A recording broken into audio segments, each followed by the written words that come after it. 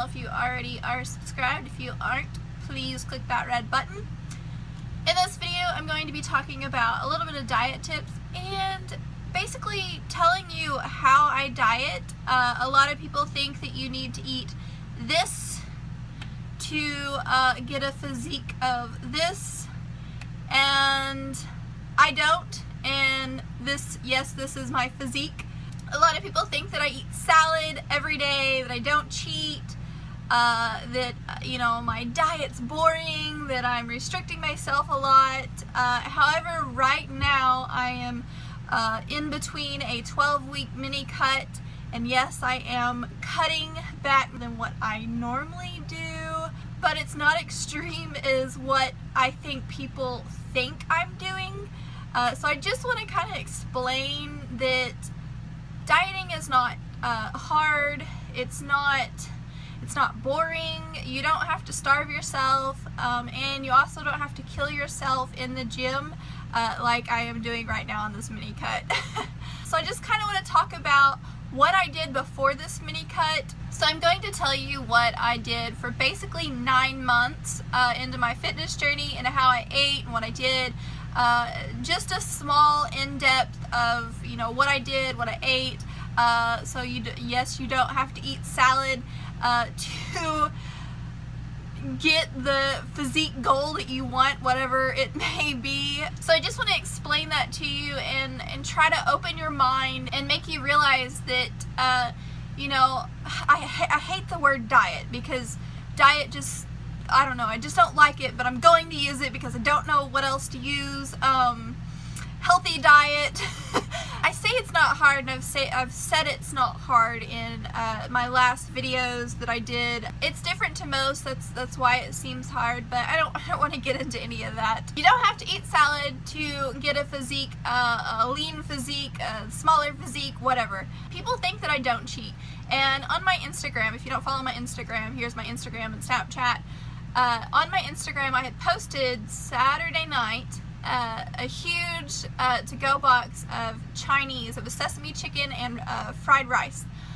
I haven't had uh, like takeout Chinese in a very, very long time. I like making Chinese uh, myself, like homemade, but it's just so nice when you don't have to make it.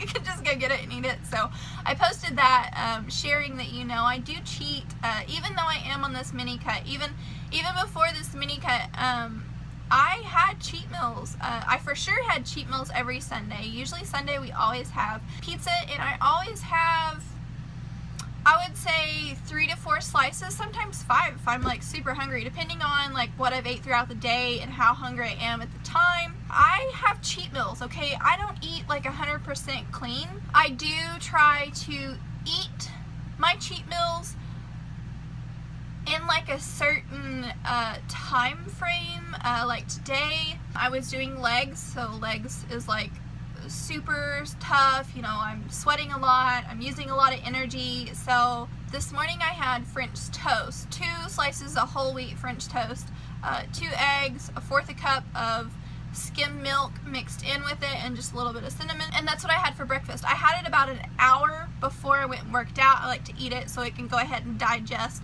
and uh, get in my stomach so it can use that when I'm working out as energy instead of my muscle. I don't eat fully healthy and I really want people to understand this because I think that like nutrition is like the main thing that people fall off of the bandwagon of you know going on a diet or, or trying to lose weight. And how I know that is because I personally did it myself. That's why I've failed so many times in the past and so now that I've like learned what I can do and how much I can do and, and everything and I just I, I, continue to learn but I just want to share with you that you know you don't have to eat 100% clean. You don't have to exercise like seven days a week. If you do follow me and you do know what I'm doing right now you're like Chelsie you like work out like five to six days a week. What are you talking about? I didn't always do that. Uh, like I said right now I keep saying that I'm on a mini cut so my diet and exercise routine is like crazy hardcore hard um, so I, I'm just I'm talking about before I started this. Remember that. So no, I didn't work out every day. I didn't. I worked out three to four days, uh, sometimes five if I would do. But my training circuits and routines were not very hard. So that means I wasn't burning a lot of calories as I am now on this mini cut. I also talk about um, moderation a lot. And moderation to me is, you know, I'm doing the work in the gym. I work. I was doing the work in the gym before this uh, mini cut. You know, I was not busting my butt every day. When I did go, of course, I did get a good workout in. but when I came home, I wasn't solely focused on eating everything, you know, unprocessed, uh, you know, dairy-free, dairy-free, gluten-free, all whole wheat, you know, just everything that screams, you know, super healthy. I, I, I still don't eat like that. I, I never have. Um, I'm not saying that you don't need to eat like that. Um, you do need to incorporate, you know, whole wheat stuff and and things like that because there is healthy benefits to that rather than, uh, you know, white bread or, you know, white grains. However, uh, myself, I don't have brown rice. Um, I, I like brown rice, but it's just easier to make white rice and Copeland likes white rice, so I eat white rice. I don't even eat whole wheat brown rice, okay? a lot of people uh, look at that as a negative. A lot of people's like, you know, white rice is bad. Um, it might be in some aspect, but I'm telling you that's what I eat and you've already seen pictures um, of my physique. So I know that you are able to get, um, you know, to those goals without eating, you know, 100% healthy because I haven't and I've achieved um, not to brag, but I've, I mean, I, have made quite a bit of progress. Always tell people um, when I first started this, I shot for 70% clean eating and 30% um, kind of whatever I wanted. Um, now, kind of whatever I wanted, I still wanted to stick, you know, in between some lines. I didn't want to go a whole day and eat, you know, seven waffles for breakfast and then lunch have like a huge burger at Five Guys and then dinner have like, you know, a big plate of enchiladas. Um, this is where moderation came in for the 30% of whatever I wanted. And the only reason why I did this is because I'm a person that when I first started, my willpower was not at a high level. Okay, you told me that I couldn't have any bread at all. I would be like, oh, I don't want to do this diet. Like, this is too hard.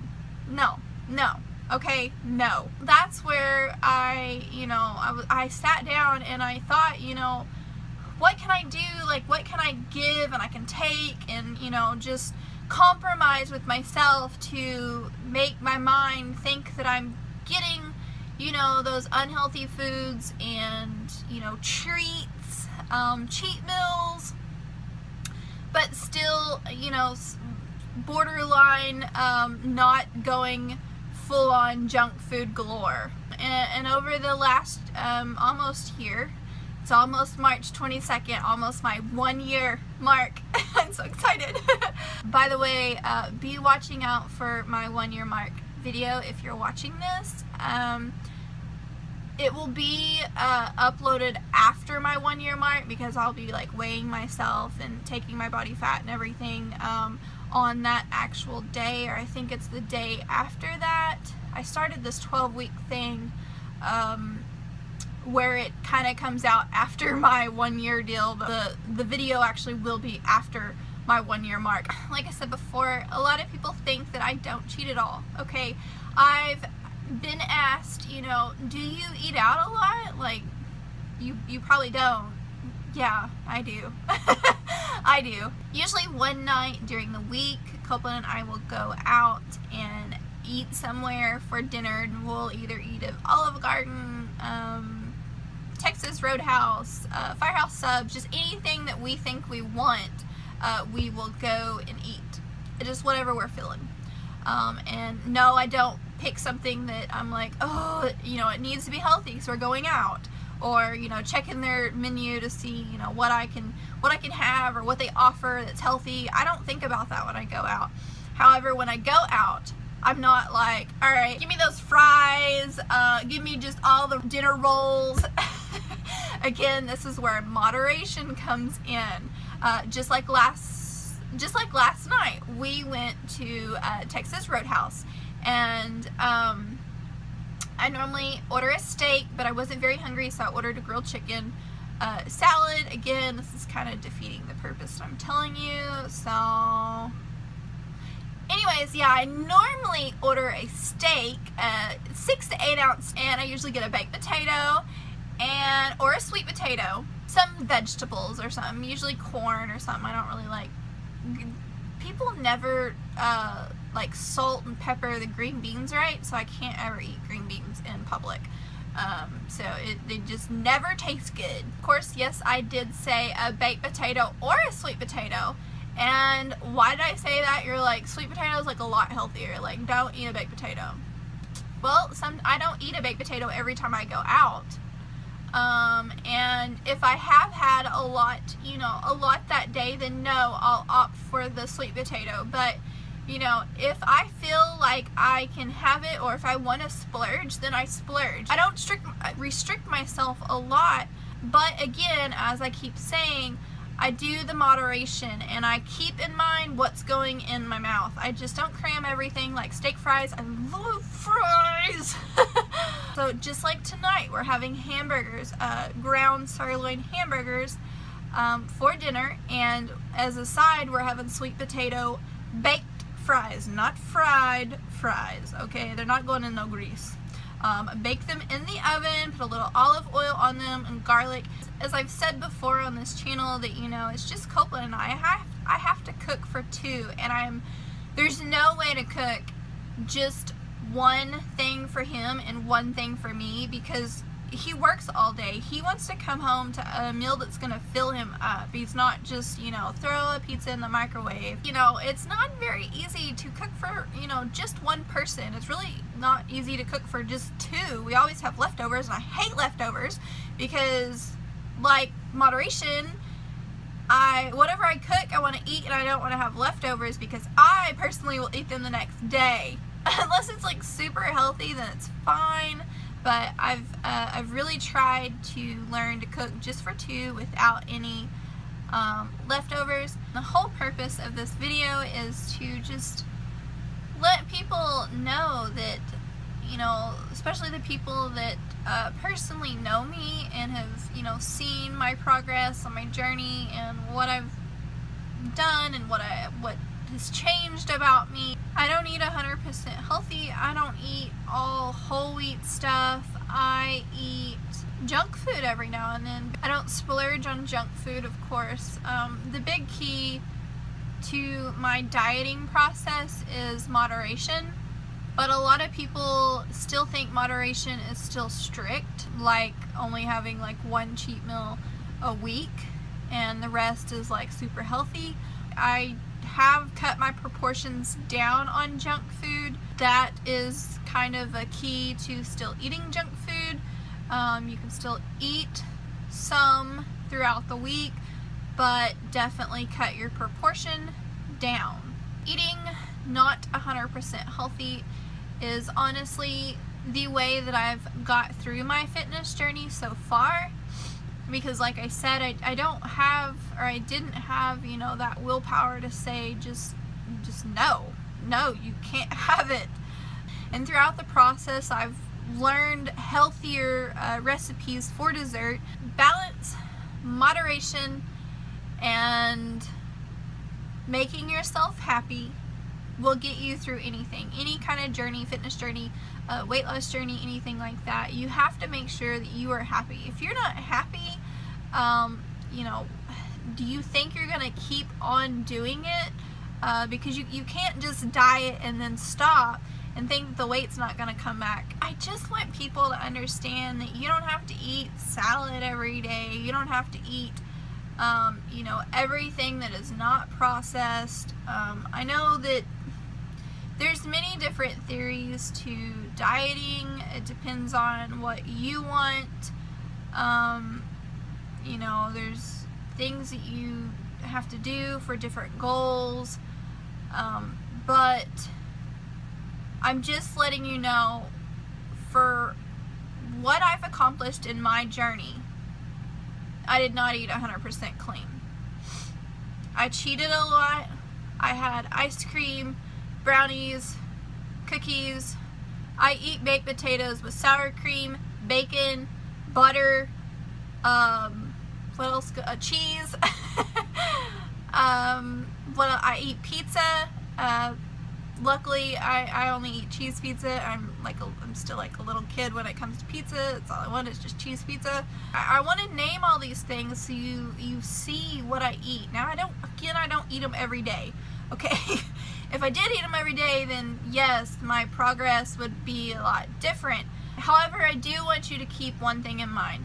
Since I didn't eat 100% clean, or even 80% clean, my fitness journey went slower than what it would have if I had ate 80 to 100% clean. Um, that should be a little common sense there, but just in case you forgot, um, I'm telling you. So, yes, I my progress has been um, been been huge compared to when I first started.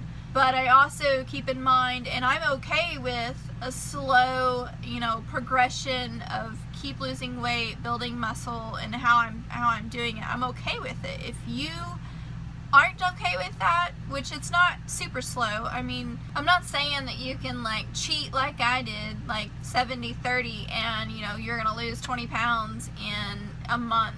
I'm not saying that. Uh, I doubt, I don't think that's gonna happen. If it does happen, it's probably not very healthy. Um, it's not healthy to lose that much weight at one time or in that short amount of time. Um, but this video is strictly just to show you according to my progress and my year-long um, thing, how I've done and what I've done and how I've ate because I I'm not lying when I say that I get questions all the time of you know what what do you eat like do you eat like 100% clean do you eat like you know do you cut out all uh, processed food um, you know, do you not eat ground beef anymore? Do you only eat chicken, fish, salmon, whatever? I guess salmon's fish, but yes, I do eat hamburger meat. I love hamburger meat. I usually buy the chuck, which is um, like 80% lean.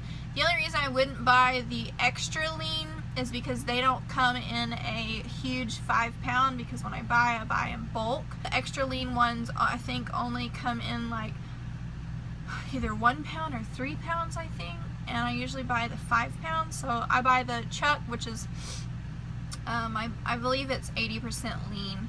Um, and again, like I said, tonight we're having hamburgers and we did the ground sirloin. Probably another question that you are thinking right now is, so you're probably going to have whole wheat buns on those hamburgers or you're probably going to take one off or both of them off and not have any carbs at dinner. No. Do you want to know what kind of buns I'm having with my hamburgers tonight? I'm probably only going to have two, by the way. These. They're not whole wheat. They're sesame seed because that's our favorite. And they're 150 calories for one bun and they're 27 grams of carbs for one bun.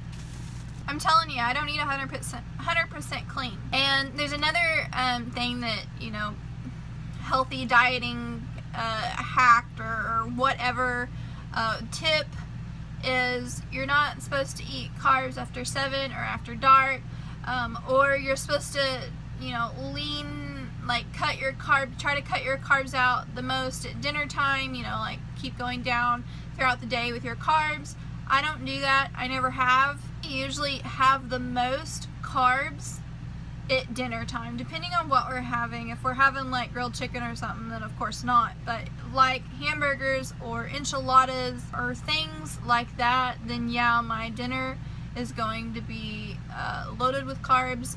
When I first started, I knew that I was like, man, I need, you know, I don't really need to eat carbs like really late because, you know, there's there's a lot of studies that say that, you know, if you stick to that and don't have carbs after dark or after 7 or, or so many hours before bedtime, it is more beneficial. But Copeland, he doesn't have like set hours of when he gets home, and usually he gets home late. So when I started this, you know, I, I couldn't figure out, you know, I can't, I can't cook dinner and have it cold by the time he comes home just so I can eat it enough hours before bed. So I just said, you know, whatever. I'm going to eat it and it's actually worked for me. That's what I do. I I have carbs after dark. I have carbs um, sometimes an hour to 30 minutes before bedtime. Um, if I have dessert, again, I don't eat 100% healthy. And I'm still losing weight. If I did eat 100% healthy, yes, I would be probably losing weight a lot quicker. But I'm okay with the rate that I'm losing weight at because I get to have cheat meals. I want my diet to be whatever I can handle and maintain for basically the rest of my life. Um, I don't plan to just do this for a year and be like, alright, I lost my weight, so let's go back to eating normal. Um, because I have cut out a lot of things. Uh, Copeland and I were in Walmart, I think, the other day, and we were just sitting there talking, and it's, it's just weird. The things that we would, you know, grab, not even thinking. It just looked good, we grabbed it. Um, especially in the bakery in Walmart.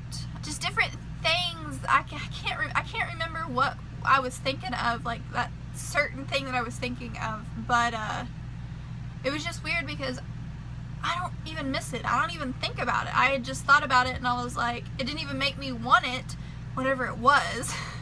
um, but it's just, it's something that we've actually both cut out because if it's in the house, I will eat it. It's just funny things like that that we've cut out, the type of things that we've cut out, but we still we still cheat. We still have like good meals, you know, that make us feel really good, but there are those certain things that we just don't have no more.